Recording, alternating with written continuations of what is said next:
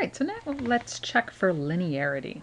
To do that, we're going to go under graphs. We actually need to graph the data and visually assess whether or not we have linear relationships. So we went to graphs and pulled up the chart builder. Down here, you'll notice one called scatter and plot.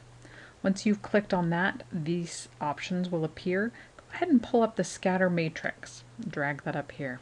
Then you're going to drag over all the variables you want to assess for linear relationships between. So in this case, just so we actually get some that have a linear relationship. We'll grab those two. Whatever your variables are that are going into your analysis, you'd want to go ahead and grab those and put them over. So we have a whole bunch of variables in there. Once you've pulled over all the variables that are going to be included in your analysis, go ahead and click on OK. It will take it a minute to churn that out for you. And if you scroll down, you'll see you have something that looks like this. Most of the time what you get in SPSS looks far from linear, like many of our variables here. If I double click on this, I should be able to increase its size. We can get a slightly better look at it.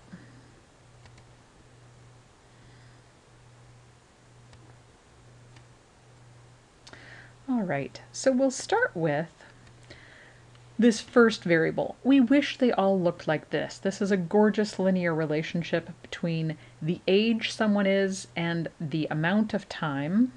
I can see down here that it's time total. That's the number of years or months they've been in the profession that they're currently working in. Not too surprisingly, people who are older have been working longer. Um, have spent more years in their chosen profession.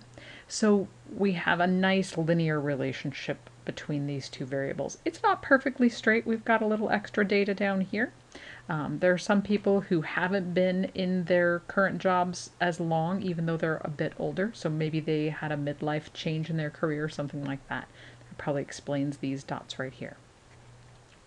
The rest of these variables look much like we tend to find things in SPSS. So looking at the relationship between age and social support. Um, most of our participants had high levels of social support, which we see here.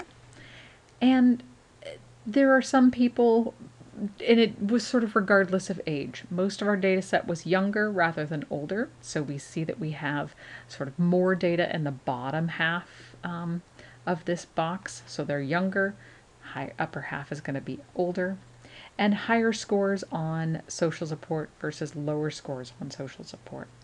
And so that's frequently the sort of data that we're going to get in a scatter matrix. Sorry for this double click to activate. It really wants me to activate this.